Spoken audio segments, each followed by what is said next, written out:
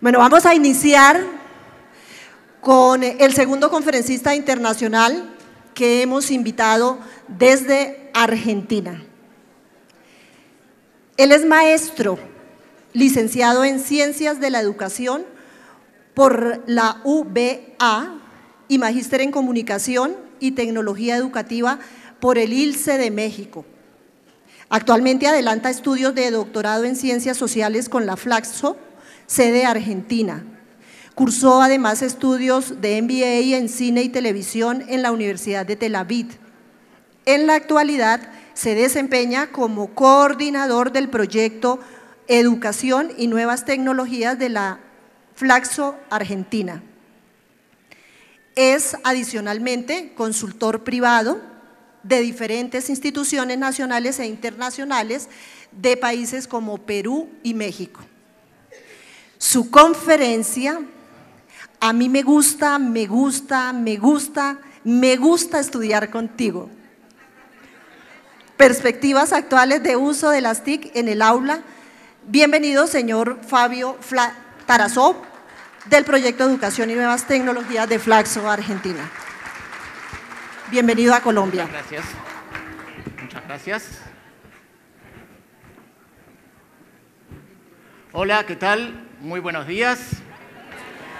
Gracias por estar aquí, por levantarse temprano. Me ha tocado el difícil reto de, iniciar una jornada y, y de empezar en estos horarios tan tempranos que se acostumbran, al menos aquí en Bogotá, para nosotros Pensar una conferencia a las 7.45 de la mañana es un poco raro, no habría nadie, ni siquiera el conferencista. Pero bueno, eh, es lo interesante de venir a Bogotá, es mi tercer viaje y como puse ayer en el Twitter, la calidez de Colombia se siente cuando uno entra al avión de Avianca y el capitán dijo buenos días. Y en ese momento uno empieza a sentir que, se traslada a Colombia. Entonces, eh, me siento muy agradecido de que me hayan invitado a participar, a dar esta charla y espero que al finalizar la charla los organizadores no estén arrepentidos de, haberme, de haberme invitado.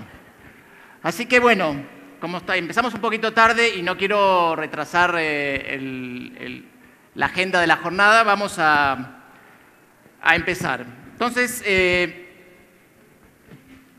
a ver, acá saco Uh, uh. Ahí está. Bien, eh, como dijo la, presentadora, soy un maestro.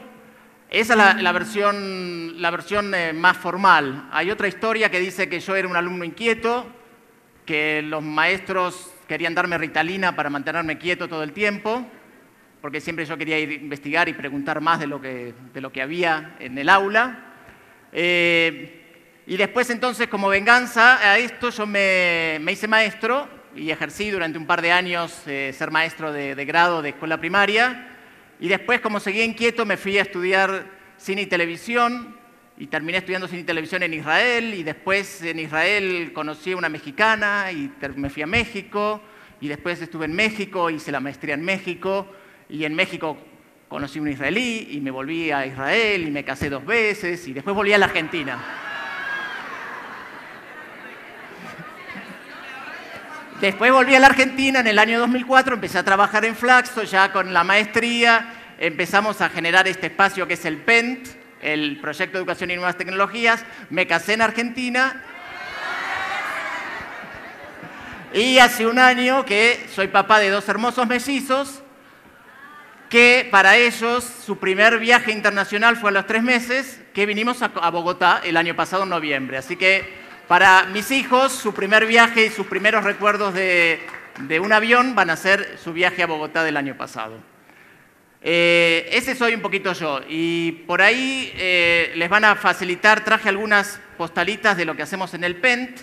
Lo que hacemos en el PENT, que es el Proyecto Educación y Nuevas Tecnologías, es justamente preguntarnos ¿Cuál es la relación entre las tecnologías y la educación? Si es, ¿Cómo podemos asociarlas? Si podemos hablar de inclusión, si podemos hablar de... ¿De qué hablamos cuando trabajamos con las tecnologías? Porque lo que habíamos visto es que venimos hablando de incluir tecnologías para mejorar la educación y eso sucedió durante todo el siglo XX y a pesar de hablar y de invertir y de hacer muchas cosas, no vimos que se hayan producido cambios significativos en la educación. Entonces empezamos a, preguntarnos a ver qué es lo que está fallando, qué es lo que pasa, qué es lo que se puede hacer para que realmente el uso de las tecnologías potencie y mejore eh, la calidad de la educación. Y de eso entonces les quiero compartir algunas de las ideas de lo que hemos, de lo que hemos estado investigando en el PEN. Bueno, eh, antes de empezar entonces, bueno, salta, brinca, brinca. Eh, como justamente estamos hablando de educación y TIC, estamos utilizando una conferencia y esta conferencia tiene un modelo bastante analógico y bastante tradicional. Yo estoy hablando y ustedes están escuchando. Entonces mi primera pregunta es, ¿qué significa pensar una conferencia en una época de TIC? ¿Cuál es el valor que tiene de estar todos juntos acá y yo, y yo estoy hablando cuando tenemos también la posibilidad de usar las TIC? Entonces, la idea sería utilizar este espacio, los que están aquí y las personas que están en streaming, que no las saludé y que les digo buenos días a todos los que están mirándonos desde la pantalla, eh, utilizar este espacio como un faro, es decir, como un faro que irradie eh, a todos los demás, a todos sus contactos en las redes, en el cual ustedes puedan eh, participarlos de las ideas que a usted, y las reflexiones que les van surgiendo a lo largo de la charla. Entonces, lo que los invito a utilizar el, Twitter con los dos, con el hashtag de, de, Educa Digital, de Compus para Educar, pero también si quieren ponerse en contacto con la comunidad y de la gente eh, del, PEN de Flaxo, entonces incluyan también el, eh, usuario de PEN Flaxo para que eh, los, escuchen y los miren los miembros de la comunidad del PEN, que son muchos en aquel lado del continente. Spent, raya al piso, como escuché que se dice acá, Flaxo. Bien, como les decía entonces, eh, las reflexiones vienen por pensar cómo hacemos para que realmente el uso de las tecnologías potencie eh, la, calidad de, la educación. Y, lo que voy a hablar en esta primera parte de la charla es cómo usamos las TIC en el aula del futuro y cuál es el aula del futuro. Porque una de las cosas que nosotros vimos es que hablamos del aula y cuando hablamos del aula parece que la idea de aula fue, es, digamos, es el onceavo mandamiento, ¿verdad? Que después de hacer el mundo, en el día octavo, el aula quedó así, determinada, y es muy difícil cambiar cómo, em, cómo se organiza un aula. Entonces, parte de lo que vamos a ver en este, en este momento es esto, esta, esta idea de aula. Entonces, vamos a hacer una encuesta vamos a hacer una encuesta previa. Yo les voy a mostrar tres imágenes de aula y la pregunta es, de acuerdo a ustedes, ¿cuál de estas tres imágenes les parece a ustedes que tienen más en común con el aula del futuro? ¿Se entiende? Yo muestro tres imágenes. Se las muestro y después vamos a hacer una votación para hacer como una encuesta previa de ver cuál creen ustedes que se parece más al aula del futuro. Vamos a ver. Número uno.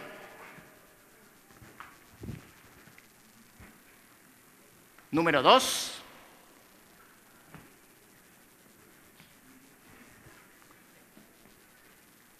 Número tres. Se las muestro otra vez para... Número dos.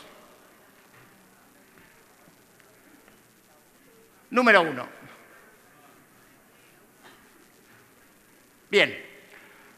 Levante la mano, ¿quién cree que el aula del futuro se parece más al aula número uno? Veo algunos, algunitos. Ajá. Veo pocos, más o menos pocos. Bien. Vamos a la número dos. ¿Quiénes creen que el aula del futuro se parece al número dos? Ajá. Veo más, eh, que en, la anterior. Ajá. ¿Y quién cree que el aula del futuro se parece a la número 3? Veo algunos pocos. Y si mi ojo no me falla, creo que la mayoría de la gente dijo la número 2, eh, la segundo al número 3 y los menos al número 1. Por supuesto que la respuesta no se las voy a dar ahora, ¿verdad? Al finalizar la charla vamos a volver a hacer la votación a ver qué sucedió.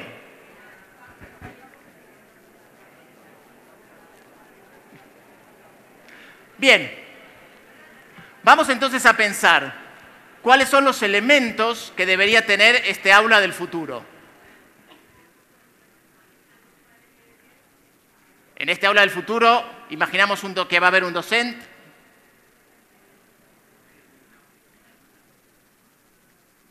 un alumno, ah, bueno, ahí está.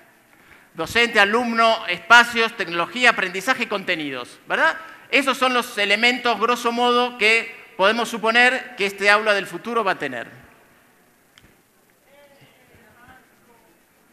Ahora bien, miren, esta, miren esto que sucede aquí.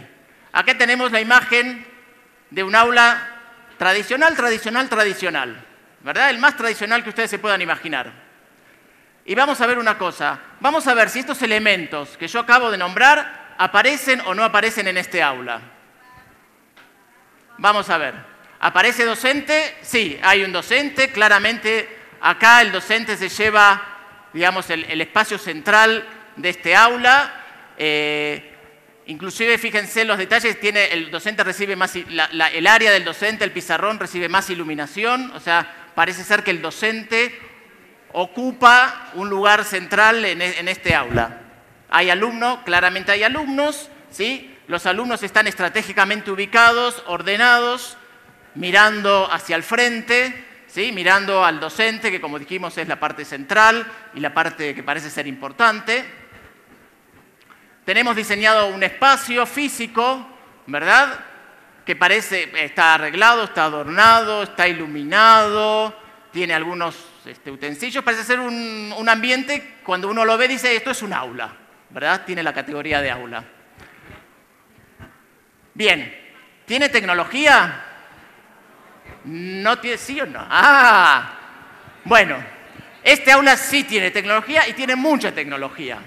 Vamos a ver, ¿qué tecnología tiene este aula? Desde ah, la más obvia que podemos encontrar acá es que hay tecnología en el sentido de tecnología electricidad, tecnología eléctrica, ¿verdad? Esperen que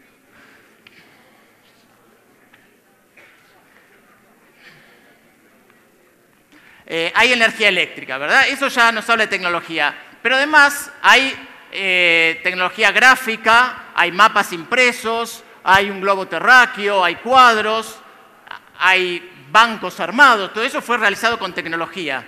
Pero además hay otra tecnología que es muchas veces invisible o que no la consideramos tecnología, que es la tecnología organizacional, la manera en que están dispuesto esto los bancos mirando al frente porque se considera que el docente es lo más importante, las luces que iluminan al docente, este aula que a su vez está en una escuela y este aula en donde se cursa un grado o donde se cursan materias, estas materias están arregladas en un currículum y este currículum se ordena la vida de un estudiante durante los años, eso es tecnología, eso no sale de la naturaleza.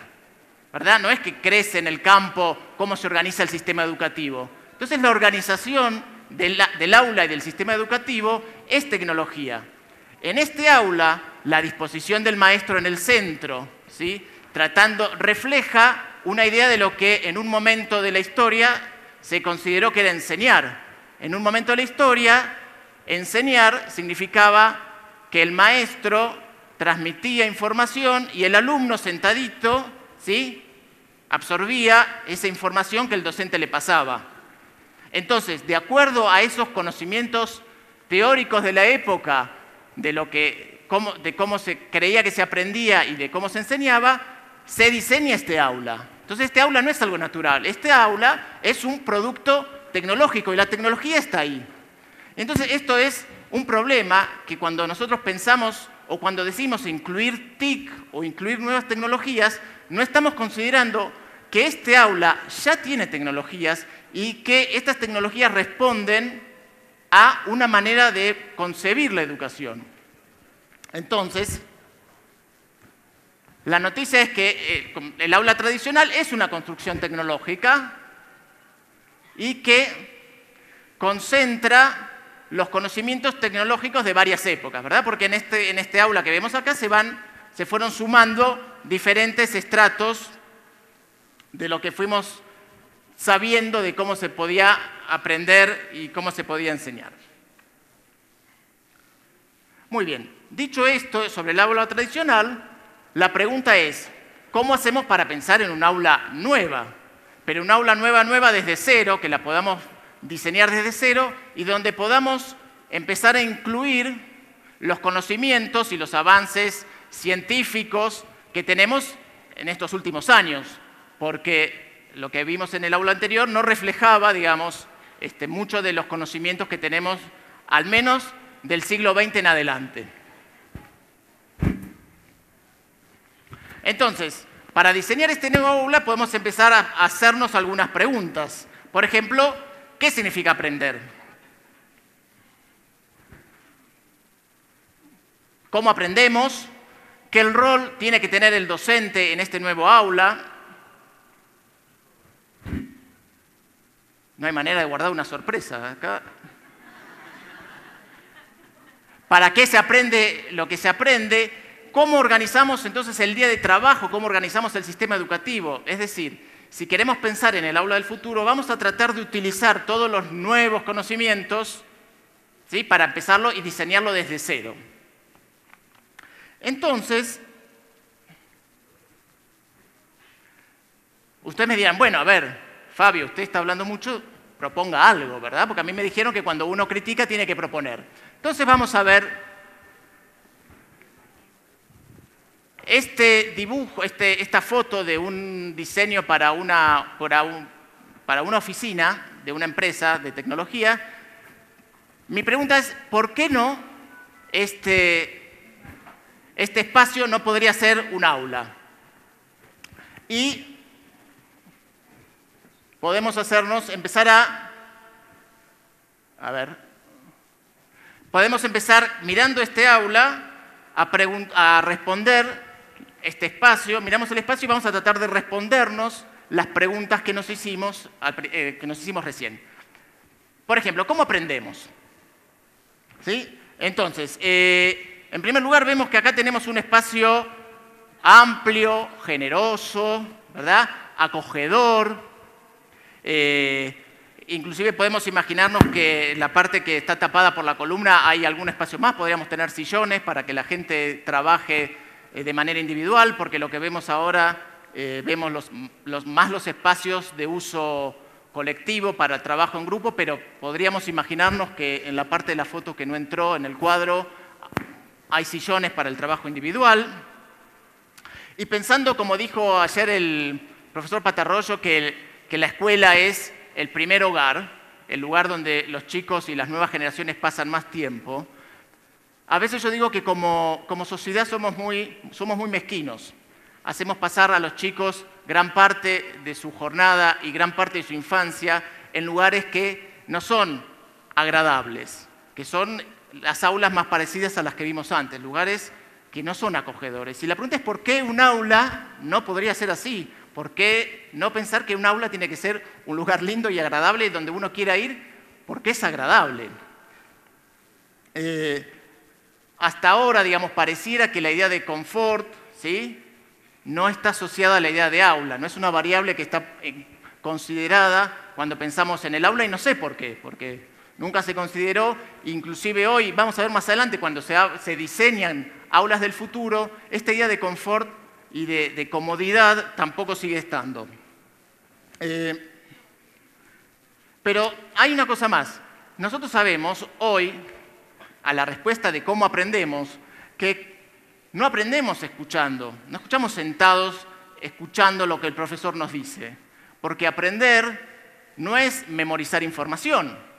Aprender significa poder construir significados, darle significados a la información que recibimos. Es decir, el acto de aprender es un acto activo de darle significado y darle sentido a la información que podemos recibir por, diferentes vías. Una manera de recibir información sí es escuchar al docente, la otra es leer, ¿sí? pero lo importante con toda esa información es que uno tiene que hacer algo, uno produce algo nuevo, uno utiliza esa información, esos ladrillos de información para construir algo nuevo y darle significado. Y en el momento que un alumno, que uno mismo logra darle significado, entender, poner en contexto a la información, uno está aprendiendo. Eh, aprendemos, como el aprendizaje es activo, ¿no? entonces aprendemos tocando, explorando, moviéndonos, discutiendo con, con el vecino, ¿sí? argumentando ideas. En la discusión uno puede estructurar y desestructurar las ideas que uno tiene. Entonces, el trabajo de, de aprender es justamente un trabajo que es justamente es muy diferente al hecho de aprender estando sentado. Y, esta crítica que yo estoy haciendo acá no, la, no es algo nuevo, digamos. Simplemente estoy reproduciendo críticas que pudo, eh, pudo haber hecho Paulo Freire durante el siglo XX, ¿no? cuando él hablaba de la educación bancaria, que la educación y la escuela no tiene que ser un lugar donde uno deposite información a los alumnos. Entonces, fíjese que estoy trayendo digamos, viejas discusiones y viejas tensiones que tiene la, educación y deudas en sí mismo, cuando hablamos de que la mente no es un lugar para depositar información que uno como docente transmite, sino que el aprendizaje necesita del trabajo, de la manipulación, de la experimentación constante de los alumnos. Entonces, un aula así, por ejemplo, nos permitiría pensar en trabajos en grupos o en trabajos individuales, y donde, por ejemplo, ahora voy a responder, el rol del docente, no hay acá un, lugar central específico para el docente que está dando cátedra, como en el aula anterior. El trabajo del docente aquí lo podemos imaginar como más distribuido, ¿sí? A lo largo, digamos, de todo, digamos, de todo el espacio del aula. Bien, ahí acabo de contestar lo de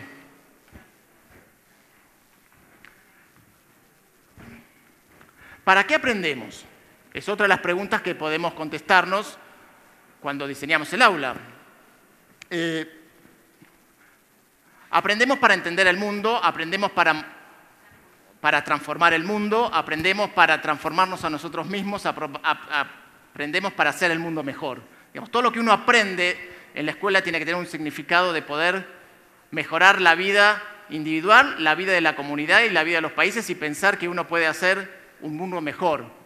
para, para eso uno transita por el, por el sistema educativo, digamos, uno transita por el sistema educativo para, de alguna manera, empoderarse de la riqueza cultural, digamos, que la humanidad ha producido desde que el hombre es hombre, y eso es el, digamos, el sentido de aprender. Aprender no es, no es memorizar fórmulas sin sentido, aprender no, no es memorizar, aprender tiene un componente de transformación de las personas y de la comunidad.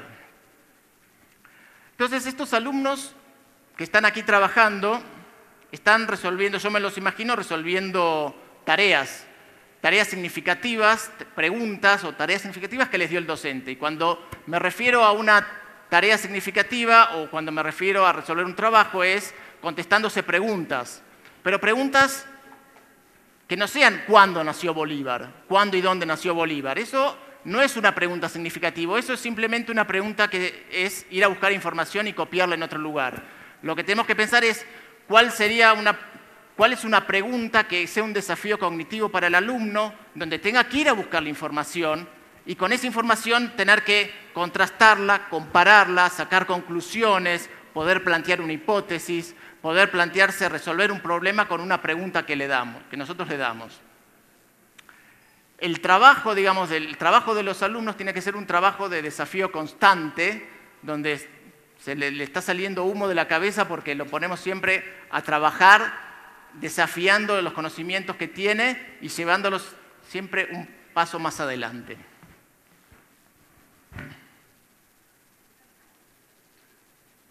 Bien.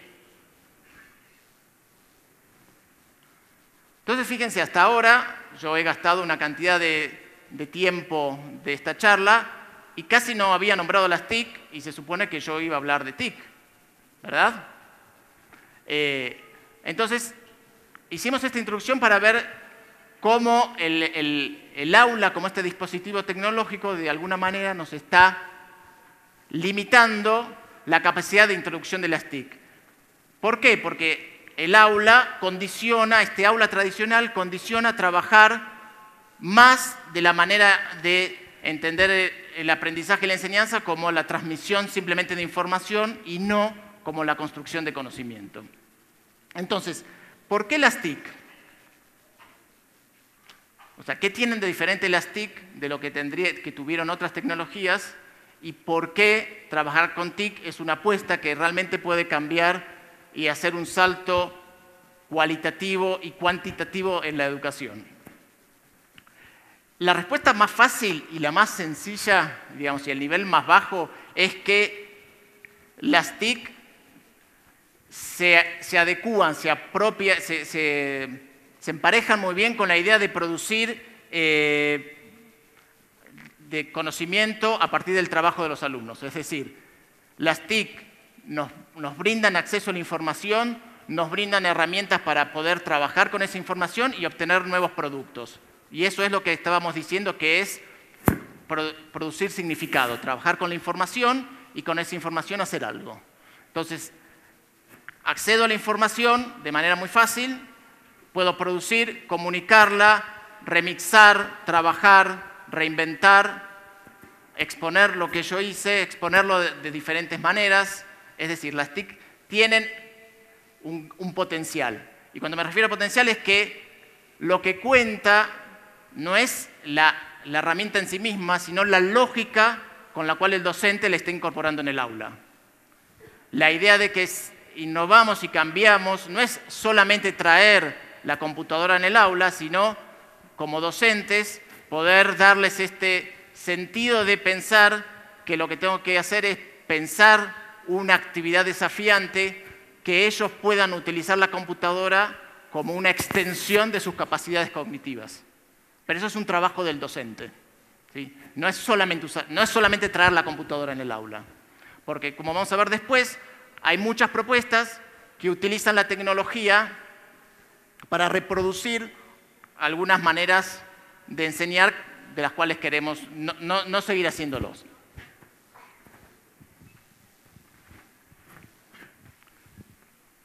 La primera idea, digamos, eh, que,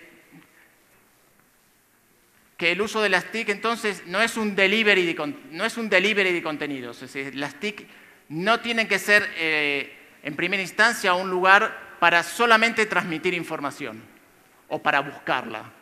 las TIC tienen que ser algo mucho más superador que eso. Pero para graficar la idea de lo que es el delivery de la información, tenemos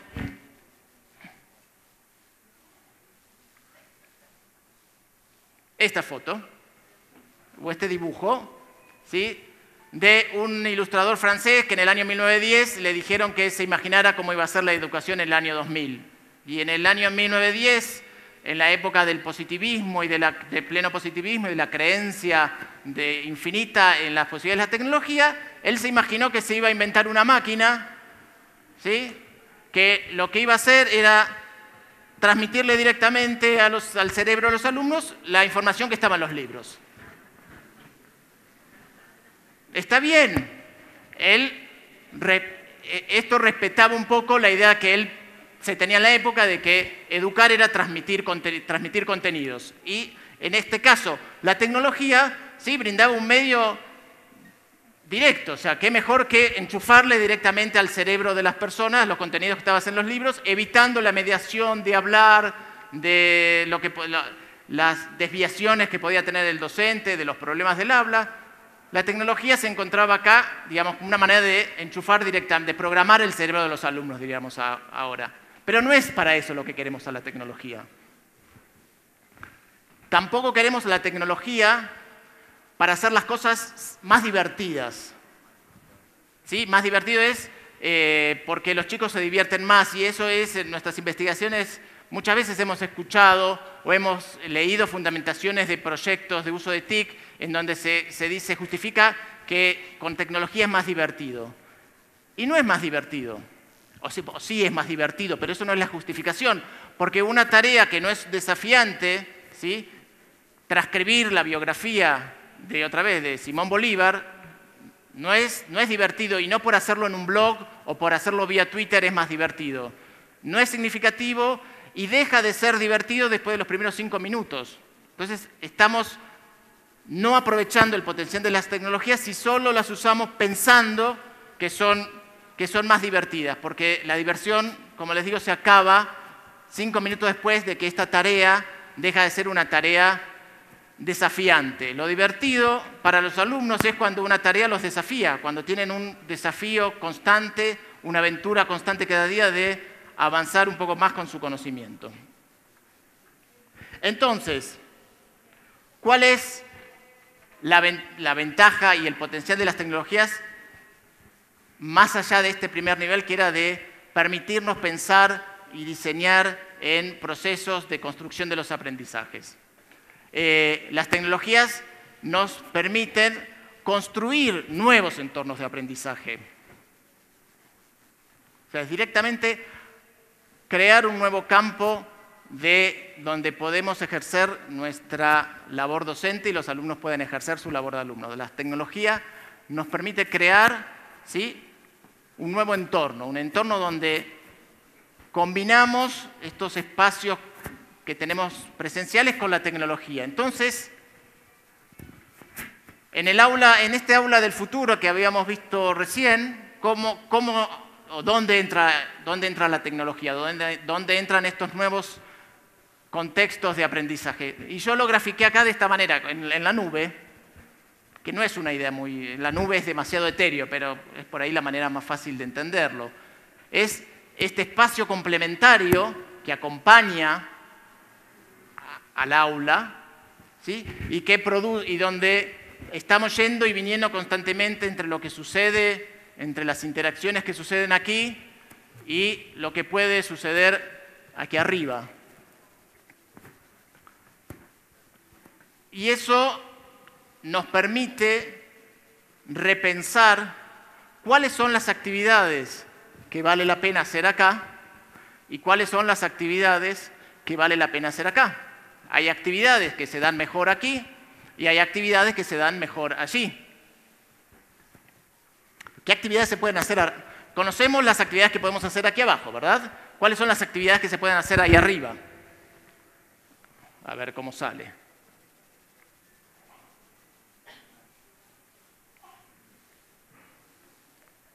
Lo voy a hacer todos juntos porque si no...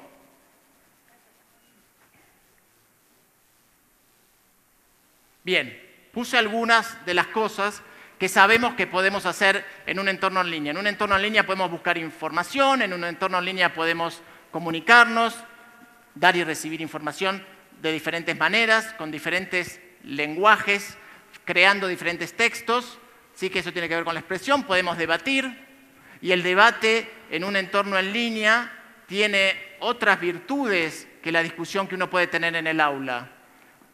Porque en un entorno en línea uno eh, se expresa diferente y parte, y digamos, uno tiene como una personalidad diferente en un entorno en línea. Uno tiene múltiples personalidades.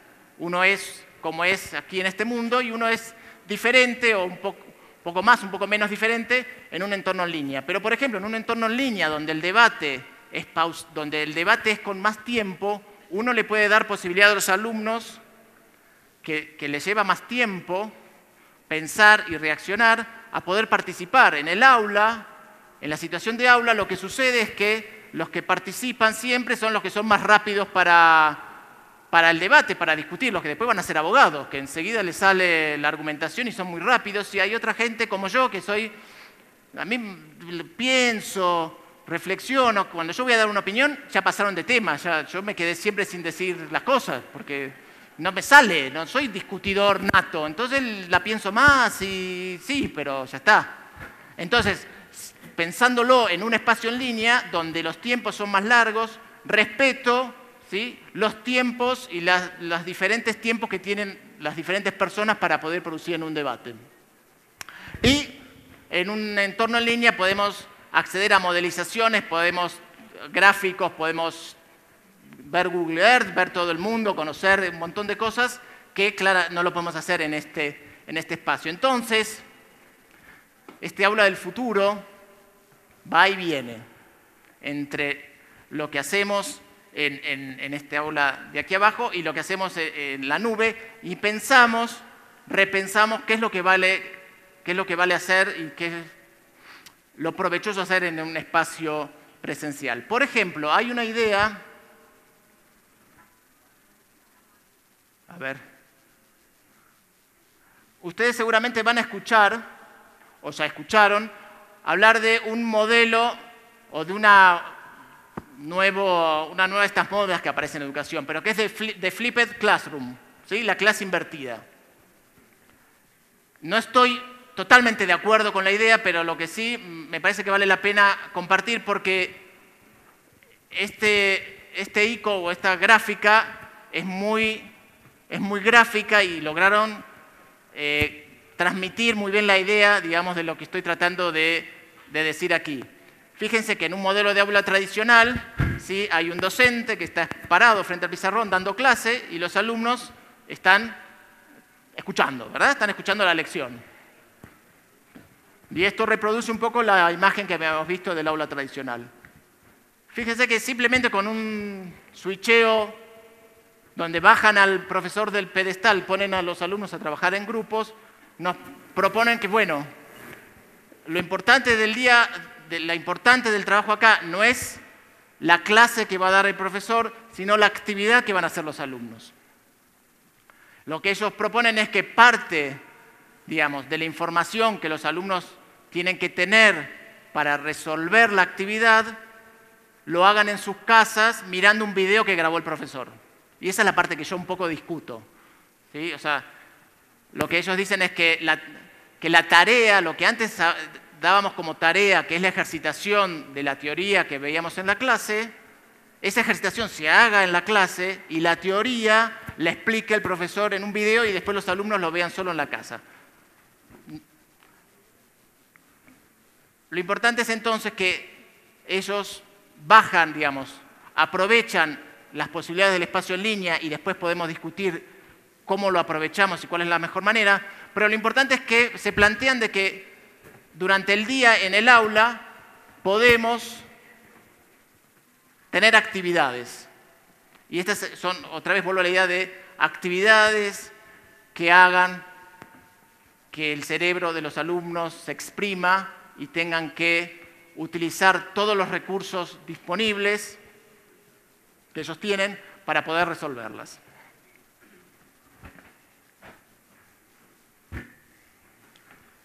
Y aquí hay algunas cuestiones más. La primera es si es que los alumnos saben de TIC o saben utilizar las TIC.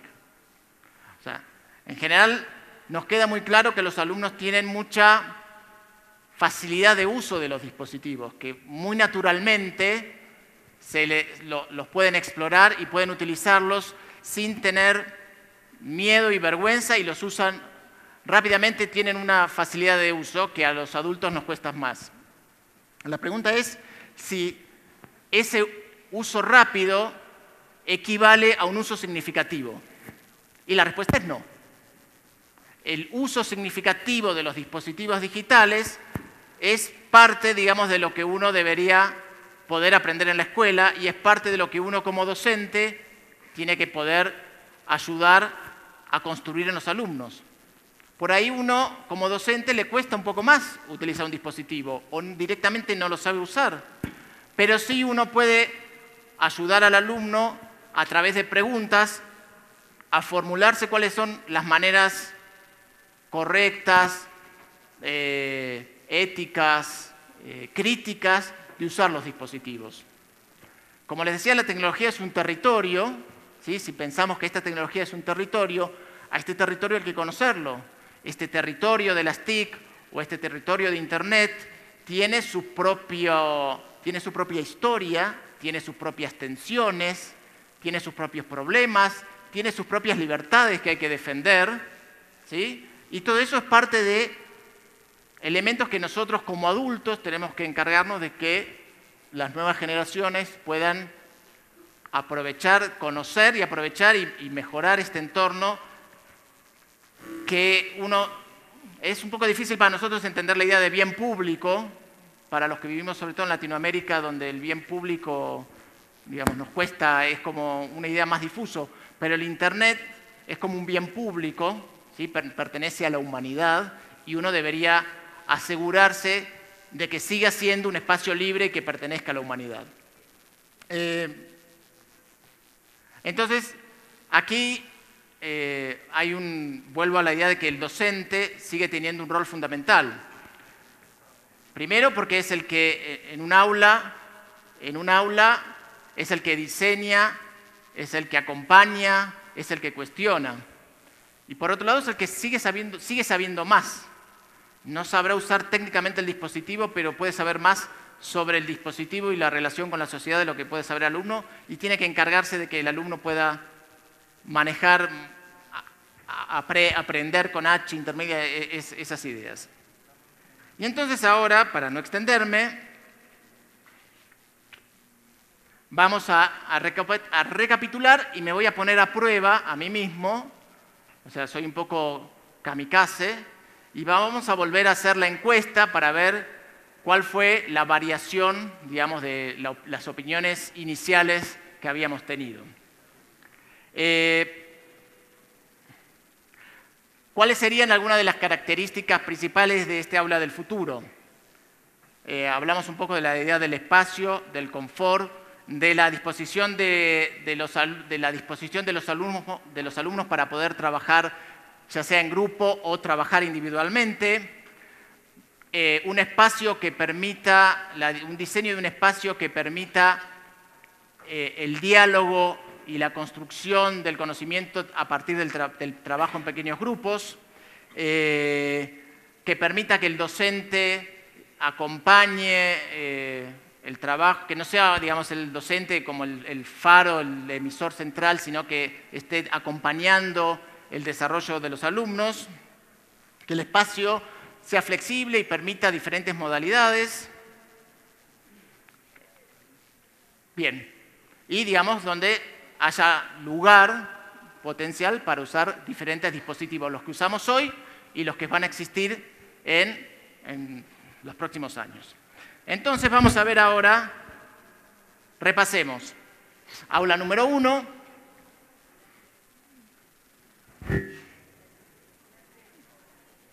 No soplen, no soplen, no... este, el aula número 2 y el aula número 3.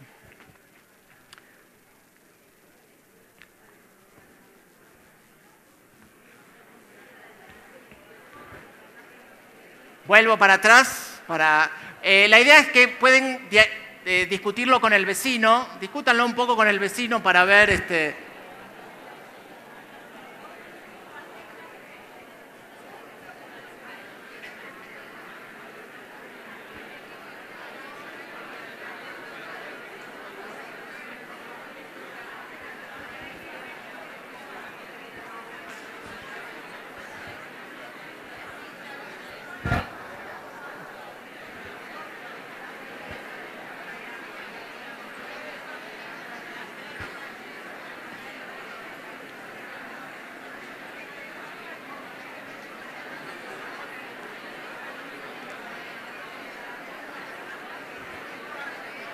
Bueno, vamos así ahora al momento de la votación. Vamos a ver. A ver cómo me va. Levante la mano. ¿Quién piensa que el número uno está más vinculado al aula del futuro? Algunos, algunos poquitos, algunos poquitos. ¿Quién cree que el aula del futuro se parece a la número dos? Veo menos, menos que antes y menos que la número uno. Entiendo, ¿quién cree que el aula del futuro está? Ajá. Ok, mucho. ¿Están seguros? Sí. Yo no, Bueno, efectivamente, ¿sí? la idea de cómo yo describí el aula del futuro tiene, que ver más con este aula. Eh, este aula, esta foto, como ustedes ven, es de un jardín de infantes, ¿sí? O de un kinder, no sé cómo lo dicen en Colombia. ¿Kinder? ¿Transición? ¿Transición de qué? Bueno, a la transición. Es un aula de transición. Y está tomada, está tomada, si pudiéramos, acá, ahí, en esa mancha que hay ahí, dice, está la firma del fotógrafo y dice Toronto 1898. Y efectivamente, este aula de jardín de infantes o de transición se parece más al aula del futuro. ¿Y saben por qué? Porque cuando se diseñó la idea de jardín de infantes o, este, este, este, modelo, esta etapa del sistema educativo, fue una etapa posterior a cuando se, dice, digamos, se, fraguó la idea del aula tradicional. Entonces, esta idea, este aula, reconoce los adelantos que ya a finales de 1800 existían sobre cómo aprendemos y cómo se puede enseñar. Entonces ahí vemos claramente, tenemos grupos, primero que tenemos un aula grande, ¿verdad? Un espacio grande. Tenemos eh, grupos de alumnos trabajando en pequeños grupos, trabajando de manera, digamos, en este caso con los cubos, pero es manual. Tienen docentes que los van acompañando y tienen este, varios docentes. Tienen además, fíjense, hay música funcional, porque acá hay una señora que toca el piano, ¿sí? Entonces claramente esta idea de aula se, acerca mucho más a la idea de que podría ser este, este aula del futuro.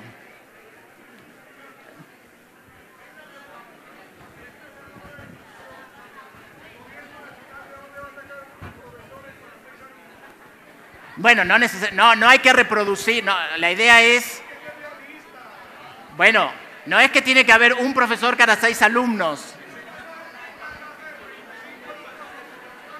Bueno, no estoy proponiendo que sea exactamente igual, dije que se acerca, entonces aunque tengamos grupos de 30, uno puede pensar trabajar en pequeños grupos. Ahora entonces, para, ahora sí, para cerrar, ¿recuerdan que empezamos la charla pensando qué significaba hacer una charla en la, en la época de TIC? ¿Se acuerdan al principio, hace como una hora? Sí. Bueno, como, este, este, este, esta cuestión, esta pregunta se nos planteó a nosotros en el equipo mientras armábamos la charla esta, se nos ocurrió que esta charla podía ser, digamos, como un primer momento para introducirnos en el tema y que para aquellos que estaban interesados, ¿sí? podíamos proponer, invitarlos a alguna actividad que siguiera en la red, que siguiera en la red, ¿sí? una actividad que pudiera continuar, en donde pudiéramos seguir analizando y explorando diferentes aspectos del aula del futuro, digamos que yo solo pude pasar aquí a vuelo de pájaro, y en donde muchos de los integrantes del equipo del Pendeflaxo han trabajado en otros, en aspectos específicos, en cómo son los contenidos, cómo es el trabajo en grupos colaborativos, cómo específicamente es el rol del docente, entonces, la idea es invitarlos ¿sí? a una experiencia, a una actividad y que ustedes a su vez inviten a sus colegas que trabajan en, computadores para educar a eh, esta actividad de microdebates que se va a hacer el 5 de septiembre entre las 13 y las 16 por la, por la web. Y para eso lo que tienen que hacer es entrar a www.pent.org.ar barra aula del futuro. Ahí está. Y ahí se pueden inscribir. Ahora, ahora volvemos para atrás. Cuando ustedes van a, hacer, van a inscribirse, van a hacer pent, www.pent.org.ar, barrita inclinada, aula del futuro, todo junto. Eso lo lleva a la página dentro del portal del PENT. Y la actividad es es libre, es exploratoria, ustedes pueden entrar un ratito, es simplemente entre estas tres horas, entre las 3 y las 16, y ustedes van a encontrar, cuando, cuando entren, van a encontrar como diferentes focos, cada uno, digamos, tratando uno de estos diferentes aspectos del aula del futuro, y ustedes van a poder participar, van a poder dialogar eh, y van a poder llevarse algunas ideas más para poder compartir con, con sus colegas. Entonces esto, eh, recuérdenlo, inscríbanse ahora para estar pendientes y una vez que ustedes se inscriban van a recibir por correo eh, las indicaciones exactas de cómo se participa, qué es lo que tienen que hacer. Entonces para eso, la inscripción, es simplemente para eso, para poder mandarles la, por correo las formas de participación. Bien. Yo les había dicho de que a pesar de que hoy por hoy, si ustedes hacen una búsqueda en Internet y ustedes encuentran, encuentran proyectos de aula del futuro, los que diseñan, los que diseñan aulas, y que en general son arquitectos, ¿sí? trabajan con esta idea de aula, ¿sí? con esta idea de aula que parece que está grabada ahí en la mente, que no se mueve, que es el aula tradicional. Entonces, no hay que hurgar mucho en Internet para encontrarse con fotos como esta, donde hablan del aula del futuro y que es ecológica y deja entrar la luz del sol y está hecha con materiales eh, ecoamigables. Pero fíjense una cosa, si ustedes prestan atención al, al diseño del aula, fíjense que no, digamos, no modifica esta idea de que están los alumnos sentados en semicírculo, ¿sí? para escuchar al maestro y están sentados ahí en unas sillas que ni siquiera tienen respaldo. Es decir, es un aula teóricamente del futuro, pero que lo único que hace es darle como una forma, un barniz moderno a lo más tradicional, tradicional de lo que entendemos en pedagogía y no incorpora ninguno de los adelantos que al menos ya se habían considerado cuando en 1898 sacaron la foto del Jardín de Infantes en Toronto. Eh, con esto entonces quiero decir muchas gracias por la invitación. Espero que haya sido interesante. Ahí tienen mi correo electrónico y mi usuario de Twitter. Eh, soy un tuitero espasmódico, o sea, no estoy siempre tuiteando, tuiteo cuando tengo algo interesante para decir o cuando tengo tiempo o cuando tengo conectividad. Y eh, para todos, a todos los invito a participar de las eh, actividades y propuestas que hay en el portal del PENT, www.pent.org.ar, y ahí sí lo que hay es producciones, está la columna que yo escribo espasmódicamente, eh, y hay otras producciones que hace el equipo del PENT. Nada más, muchas gracias y bueno, nos vemos el 5 de septiembre.